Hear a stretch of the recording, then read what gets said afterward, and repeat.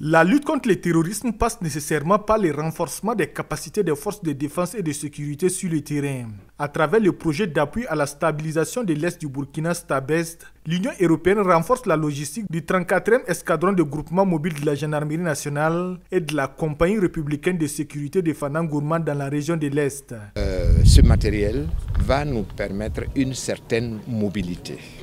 Et cette mobilité nous permet d'être en contact avec les populations. Et si nous sommes en contact avec les, populations, nous assurons leur sécurité. Notre présence est une garantie de sécurité pour ces populations. Et c'est pour cela que euh, ce type euh, de projet, euh, avec l'accompagnement de l'Union européenne, va se multiplier. Mais je voudrais souligner un autre aspect qui fait aussi partie de notre coopération, c'est le renforcement de la confiance entre les forces de sécurité et la population.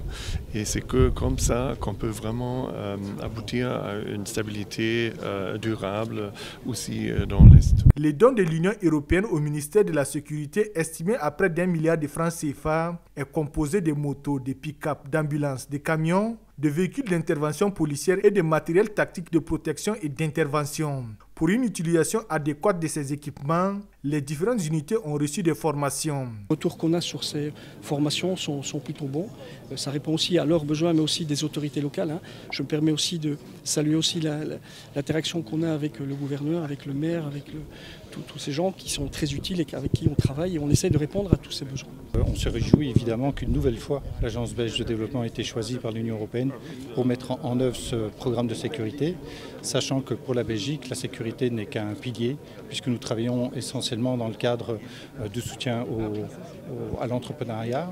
La remise de ces matériels aux forces de défense et de sécurité de la région de l'Est, localité en proie aux attaques terroristes, est bien appréciée par le premier responsable de l'association des municipalités de la localité. Qu'est-ce que je peux ressentir? Ce n'est qu'une grande joie qui m'anime en ce temps-là.